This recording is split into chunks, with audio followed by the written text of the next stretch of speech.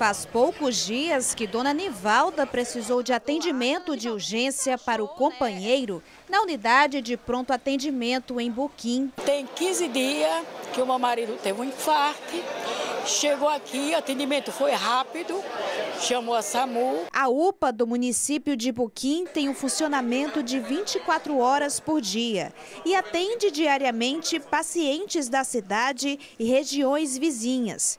Me surpreendi muito, né, com a nova novo hospital, né? Novo hospital, instituto como ficou. É especial para mim, porque além de ser na minha terra, leva o nome do meu avô, Bernardino Mitidieri, e ela recebe aqui hoje uma, uma, uma ampliação dos seus serviços, uma ampliação também da sua infraestrutura, onde a gente traz aqui nova sala de raio-x, de ultrassonografia, nova sala de estar, é, também é, aqui hoje entregamos duas ambulâncias novas à, à população é, de Buquim, para que possa ajudar também no socorro aquelas pessoas que mais precisam, a gente está falando de saúde, onde faz toda a diferença, uma ambulância para a disponibilidade. A ampliação da UPA vem reforçar os atendimentos e desafogar as unidades de pronto-socorro da região.